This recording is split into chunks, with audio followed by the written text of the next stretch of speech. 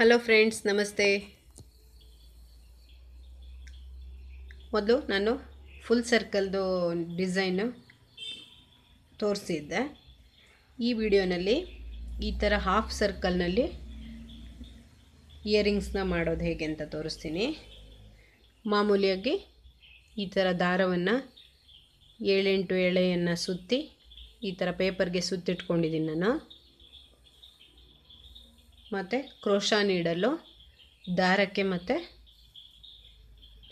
ಸಣ್ಣ ಸಣ್ಣ ಮಣಿಗಳಿಗೆ ಒಂದು, ಹನ್ನೊಂದನೇ ನಂಬರು ಮತ್ತು ಏಳನೇ ನಂಬರ್ದು ಕ್ರೋಶಾ ನೀಡಲು. ಆಮೇಲೆ ಈ ಥರ ಚಿಕ್ಕ ಚಿಕ್ಕ ಮಣಿಗಳು.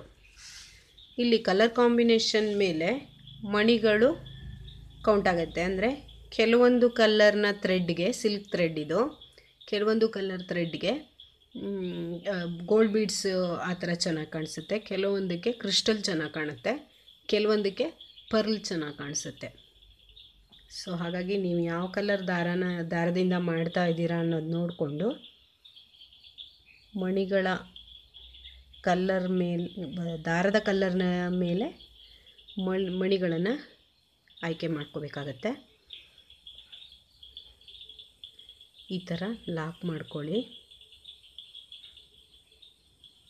ಸೇಮ್ ಮೂರು. ಹಿಂದಿನ ವಿಡಿಯೋದಲ್ಲಿ ತೋರಿಸ್ದಾಗೆ ಮೂರು ಈ ಥರ ಚೈನು ಫಸ್ಟ್ ಚೈನ್ನ ಹೋಲ್ನ ಒಳಗಡೆ ಈ ಥರ ಲಾಕ್ ಮಾಡ್ಕೋಬೇಕು.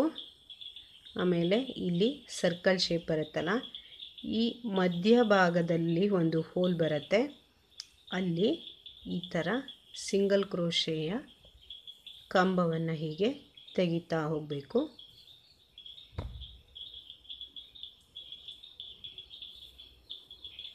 ಏಳರಿಂದ ಎಂಟು.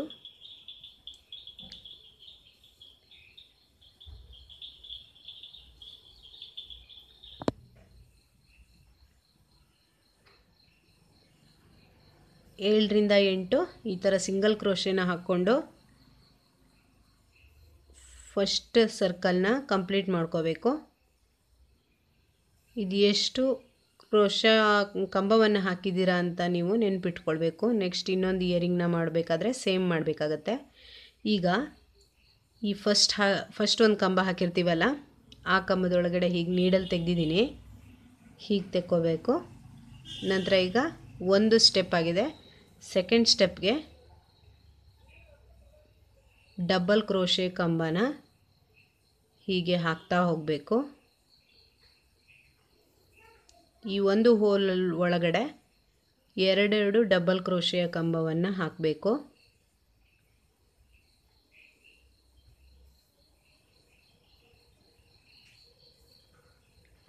ಎರಡು ಕಂಬ ಹಾಕಿದರೆ ಮಾತ್ರ ಒಂದೊಂದು ಹೋಲ್ ಒಳಗಡೆ ಈ ಡಿಸೈನು ಅಗಲವಾಗಿ ಬರುತ್ತೆ.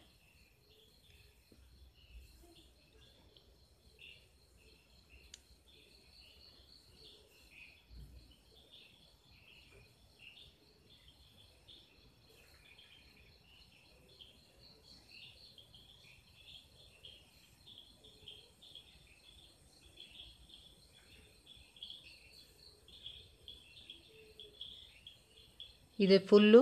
ಇದನ್ನ ಸರ್ಕಲ್ ಕಂಪ್ಲೀಟ್ ಮಾಡ್ಕೋಬೇಕು. ಇವಾಗ ಸೆಕೆಂಡ್ ಸ್ಟೆಪ್ ಇಲ್ಲಿವರೆಗೆ ಬಂದಿದೆ. ಈಗ ಮತ್ತೆ ಇಲ್ಲಿ ಫಸ್ಟು ಕಂಬದ ಒಳಗಡೆ ಹೀಗೆ ತಗೊಂಡು ಒಂದೇ ಬಾರಿ ಹೀಗೆ ತೆಗಿಬೇಕು. ಲಾಕ್ ಆಗುತ್ತೆ. ನೆಕ್ಸ್ಟ್ ಈಗ ಮೂರನೇ ಸ್ಟೆಪ್ಪಿಗೂ ಕೂಡ ಡಬಲ್ ಕ್ರೋಶೆ ಕಂಬನ ಹೀಗೆ ಹಾಕ್ತಾ ಹೋಗಬೇಕು.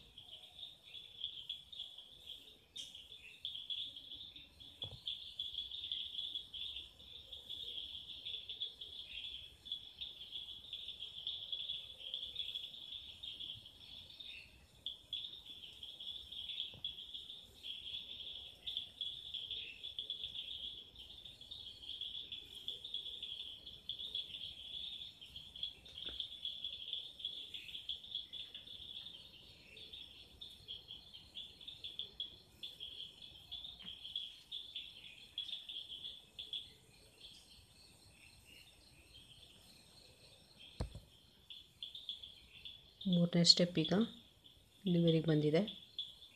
ಮತ್ತು ಈಗ ಹೀಗೆ ಏನು ಮಾಡಿ, ಇಲ್ಲಿ ಈ ಥರ ಲಾಕ್ ಮಾಡಬೇಕು. ನೆಕ್ಸ್ಟ್ ನಾಲ್ಕನೇ ಸ್ಟೆಪ್ಪಿಗೂ ಕೂಡ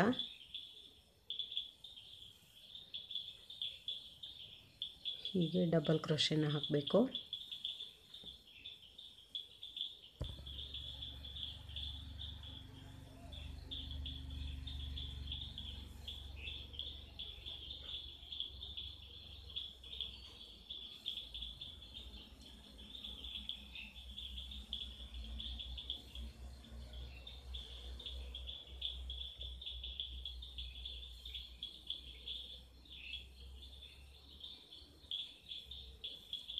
ಇಲ್ಲಿ ಒಂದು ಹೋಲ್ ಒಳಗಡೆ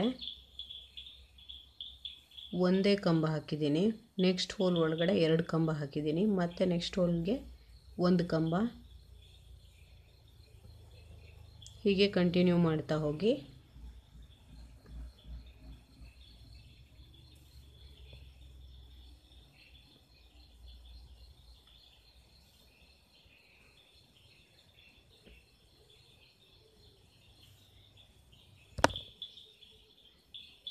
ನೋಡಿ ಹೀಗೆ. ನಾಲ್ಕನೇ ಲೇಯರು ಇಲ್ಲಿ ಅರ್ಧದವರೆಗೆ ಬಂದ ತಕ್ಷಣ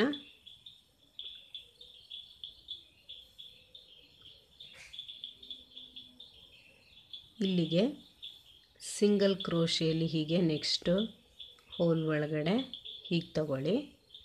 ಏಕೆಂದರೆ ಈ ಶೇಪು ಬರಬೇಕಲ್ಲ ನಿಮಗೆ.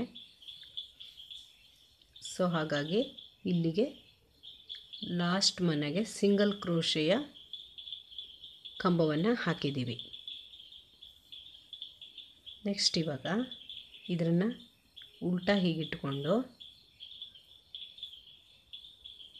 ಒಂದು ಚೈನ್ ಹಾಕ್ಕೊಂಡು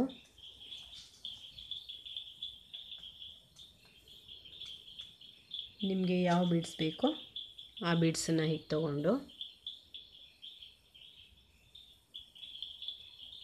ಒಂದೊಂದೇ ಹೀಗೆ ಹಾಕ್ತಾ ಬನ್ನಿ. ನಾನಿಲ್ಲಿ ಸಿಂಗಲ್ ಕ್ರೋಶೆ ಹಾಕ್ತಾ ಇದ್ದೀನಿ ಈಗ. ನಿಮಗೆ ಈ ಡಿಸೈನ್ ಇನ್ನೂ ಸ್ವಲ್ಪ ದೊಡ್ಡ ಬೇಕು ಅಂದರೆ ಡಬಲ್ ಕ್ರೋಶೆ ಕೂಡ ಹಾಕ್ಬೋದು.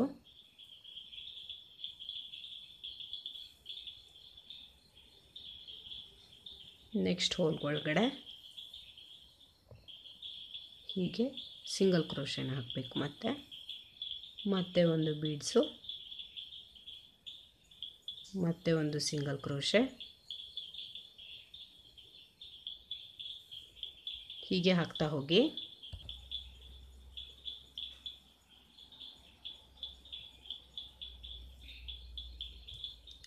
ಲಾಸ್ಟು ಹೋಲ್ ಒಳಗಡೆ ಹೀಗೆ ಹಾಕಿ. ಈಗ ಹೀಗೆ ತಗೊಂಡು ಹಾಕಿದ್ರೆ ಸಿಂಗಲ್ ಕ್ರೋಶ್ ಆಗುತ್ತೆ. ಹಾಗೆ ತಗೋಬೇಡಿ. ಹೀಗೆ ಇಲ್ಲೇ ಲಾಕ್ ಮಾಡಿಬಿಡಿ.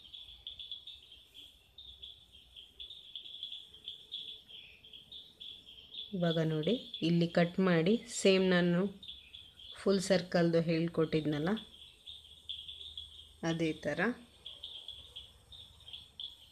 ಇಲ್ಲಿಗೆ ಕಟ್ ಮಾಡಿ, ಸ್ವಲ್ಪ ಉದ್ದ ಕಟ್ ಮಾಡಿ ದಾರನ, ಈ ಥರ ಹೀಗೆ ಎಳ್ಕೊಂಡು ಇಲ್ಲಿ ಒಂದು ಗಂಟು ಹಾಕಿ ಹಿಂದ್ಗಡೆ ಇಲ್ಲಿ ಎಷ್ಟು ಬೇಕೋ ಅಷ್ಟು ದಾರಕ್ಕೆ ಗಮ್ ಮಾಡಿ ಈ ಥರ ರಿಂಗ್ ಮತ್ತು ಈ ಹುಕ್ ಸಿಗುತ್ತಲ್ಲ? ಇದನ್ನು ಲಾಸ್ಟ್ ವಿಡಿಯೋನಲ್ಲಿ ನಾನು ಹೇಳ್ಕೊಟ್ಟಿದ್ನಲ್ಲ, ಆ ಥರ ಇದನ್ನು ಫಿಕ್ಸ್ ಮಾಡಿದ್ರೆ ಈ ಥರ ಆಗತ್ತೆ.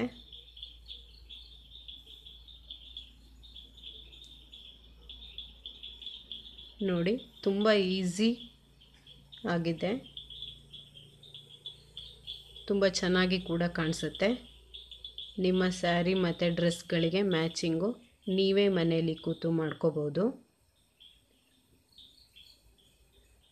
ಸಿಲ್ಕ್ ಥ್ರೆಡ್ನ ಜುವೆಲ್ರಿಗಳು ಇಷ್ಟ ಆಗುತ್ತೆ ಅಂತ ಅಂದ್ಕೊಳ್ತೀನಿ. ದಯವಿಟ್ಟು ಲೈಕ್ ಮಾಡಿ, ಶೇರ್ ಮಾಡಿ, ಸಬ್ಸ್ಕ್ರೈಬ್ ಆಗದೇ ಇರೋರು ಸಬ್ಸ್ಕ್ರೈಬ್ ಮಾಡಿ, ಸಪೋರ್ಟ್ ಮಾಡಿ ಫ್ರೆಂಡ್ಸ್. Thank you.